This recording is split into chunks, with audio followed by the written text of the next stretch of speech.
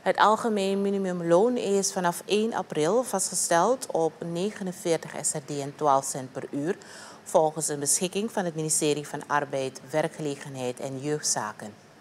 Het minimumloon is bedoeld om werknemers te beschermen tegen uitbuiting en een basisinkomen te garanderen voor basisbehoeften. Werkgevers moeten minstens dit minimumuurloon betalen. Overtredingen worden streng gecontroleerd door de arbeidsinspectie.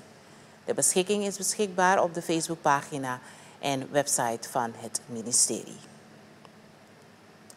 President Chandrika Persat Santokhi heeft met vertegenwoordigers van landbouwcoöperaties in Ikeri de uitdagingen in de rijstsector besproken.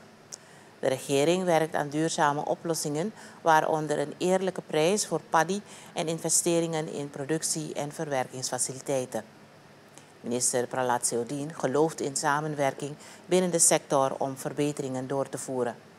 LVV streeft naar een toename van rijstbeplanting van meer dan 80.000 hectare per jaar als ondersteuning van CARICOM-doelen om voedselimporten te verminderen. De politie van regio West heeft in de nacht van zondag 31 maart 2024 op maandag 1 april 2024 bij een roodblok voor de hulpposten uitkijk diverse veiligheidscontroles uitgevoerd. Daarbij zijn er 85 voertuigen gecontroleerd, waarvan 9 niet herkeurd en 2 niet verzekerd waren. Verder zijn er 13 verkeersovertreders voor procesverbaal aangezegd, boetes uitgeschreven ter waarde van 24.100 SRD en 450 SRD aan boetegeld is geïnd.